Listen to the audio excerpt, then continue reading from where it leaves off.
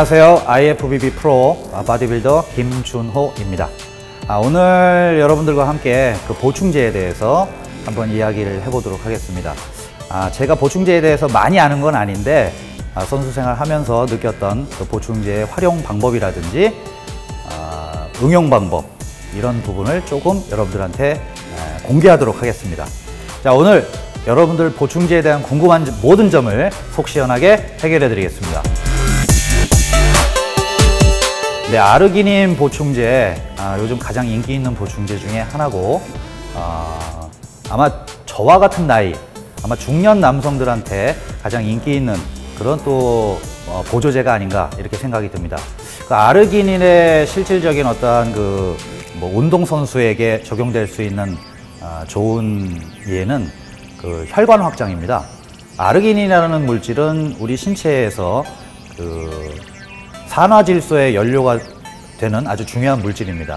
이 산화질소의 주요 기능이 혈관을 확장시키고 혈관 확장으로 인해서 혈류 속도가 증가하게 됩니다.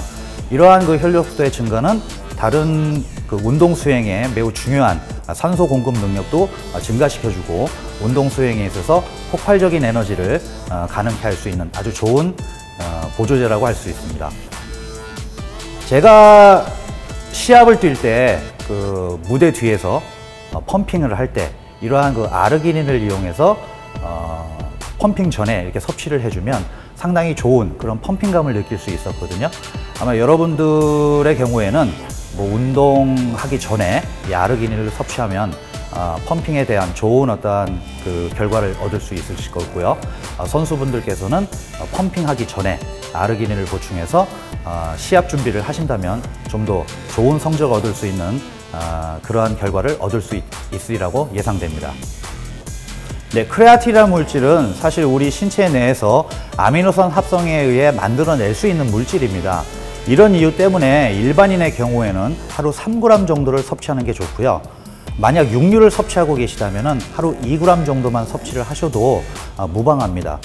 그렇지만 운동선수의 경우는 어, 하루 5g 정도로 어, 섭취량을 좀 늘려주면 실질적인 우리가 운동 에너지로 사용되는 ATP 물질이 ADP로 분해되었을 때 분해된 ADP에 피인지질을 공급해서 다시 ATP를 재합성할 수 있는 ATP PC 시스템에 지대한 영향을 미칠 수가 있습니다.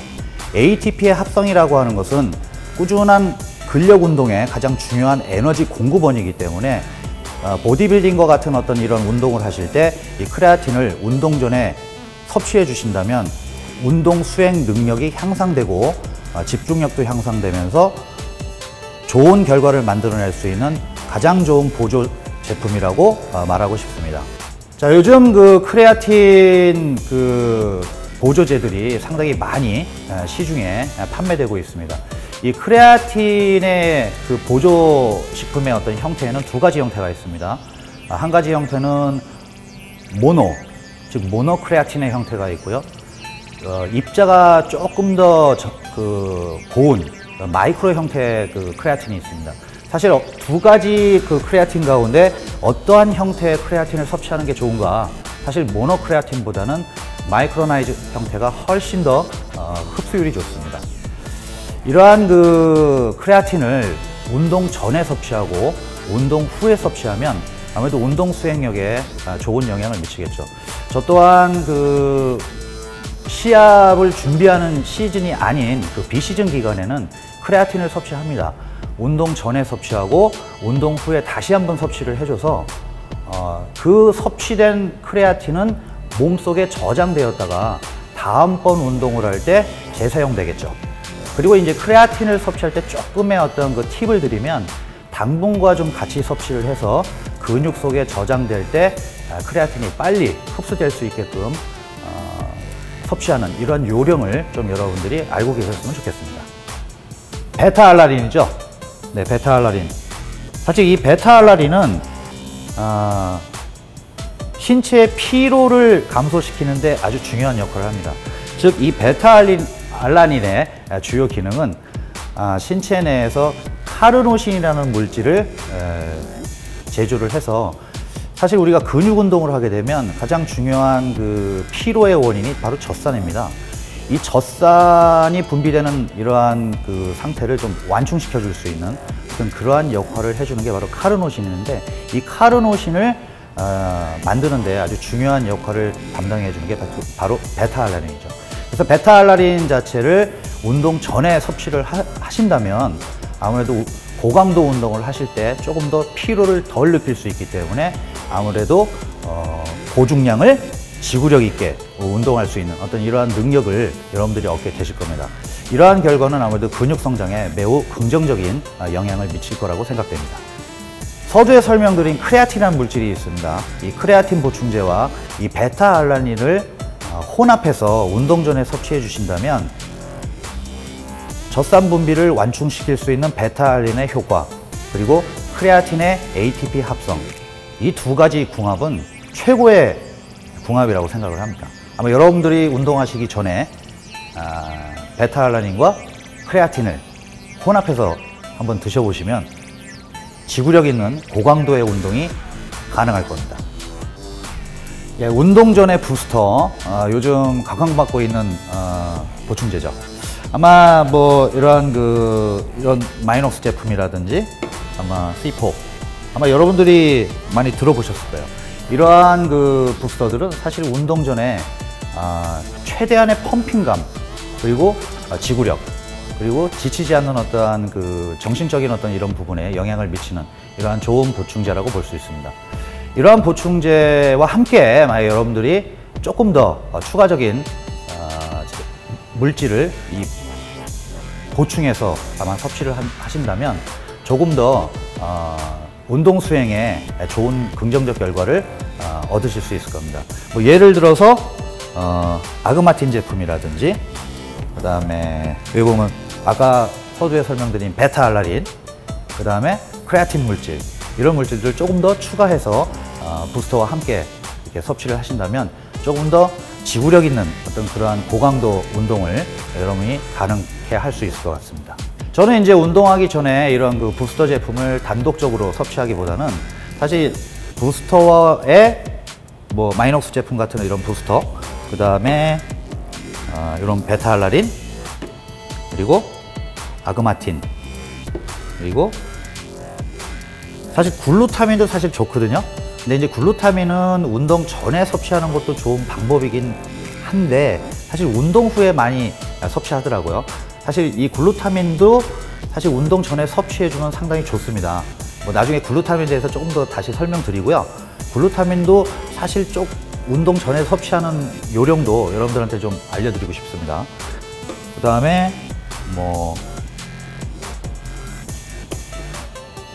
아르기닌 제품 같은 거, 뭐 이런 성분을 조금 더 이렇게 혼합해 주신다면은 아, 좀 더 좋은 어떤 그런 결과를 얻을 수 있고요. 제가 느끼는 어떠한 이러한 그 부스터 제품의 추가적인 어떤 그 성분을 이렇게 같이 복용을 해보니까 사실 뭐 운동하는 어떤 그러한 그 시간도 길어지고요. 그다음에 저의 어떤 그 운동 특징은 좀 짧은 시간에 고강도 트레이닝을 하는 그러한 원칙을 어, 갖고 있습니다. 이런 짧은 시간에 고강도를 계속 유지하기 위해서는 지치지 않는 어떤 체력이 제일 중요하거든요. 사실 제가 나이가 지금 어, 불혹의 나이이기 때문에 이러한 그 나이에서 어, 볼 수 없는 어떤 그러한 체력을 어, 얻을 수 있다는 거 이런 부분은 상당히 여러분들한테 권장하고 싶습니다. 산화질소 뭐 솔직히 산화질소는 웃음가스죠. 그 우리 개그 프로라든지 이렇게 풍선 입에 물고 이렇게 들여 마시면 목소리가 이상해지지 않습니까? 사실 그게 산화질소예요. 근데 이 산화질소를 우리가 이제 흡입한다는 어떤 그런 얘기가 아니고 우리 신체 몸속에서 스스로 산화질소를 만들 수 있게 유도하는 이러한 보조 식품을 이용한다 이렇게 생각하시면 됩니다. 그 산화질소의 가장 그 주요한 어떤 그러한 역할을 담당해 주는 게 바로 아르기닌이죠. 이 아르기닌과 사실 시투린이라는 제품이 있는데 사실 이 시투린 제품은 사실 그 아르기닌의 전구체예요. 그래서 실질적으로 아르기닌을 섭취하는 것보다는 시툴린을 섭취하게 되면 아르기닌을 직접 섭취하는 것보다 훨씬 많은 양의 아르기닌을 얻을 수가 있습니다. 그래서 만약 여러분들이 운동하기 전에 그 산화 질소를 이용한 최대 펌핑감을 얻고자 한다면 가장 좋은 조합은 아르기닌과 시트루린. 만약 이 두 가지의 제품을 조금 더 어, 확실하게 좀 얻고자 한다면 그 아그마틴, 아르기닌, 그 다음에 시트루린 이런 세 가지 조합 최고라고 얘기할 수 있습니다. 산화질소의 신체 내의 증가는 혈관이 넓어지는 그런 결과를 얻습니다. 사실 우리가 길을 가는데 국도를 가다가 고속도로를 만났다 이렇게 생각하시면 됩니다. 사실 좁은 길에서 길이 넓어지면 흐름이 좋아지고 속도가 증가하는 건 사실입니다. 그렇기 때문에 우리 신체의 혈관이 확장되고 혈류 속도가 증가하게 되면 신체의 산소 운반 능력은 자연히 증가하게 됩니다. 신체의 에너지 생성이라고 하는 것은 산화작용, 즉 산소와 결합해서 태워지는 이런 과정을 통해서 에너지를 얻게 되는 것입니다. 그렇기 때문에 혈관의 확장을 통한 혈류 속도의 증가라고 하는 것은 많은 양의 적혈구를 한꺼번에 얻을 수 있는 좋은 방법이겠죠. 이러한 결과로 인해서 우리 신체의 에너지 대사가 증가하는 것입니다.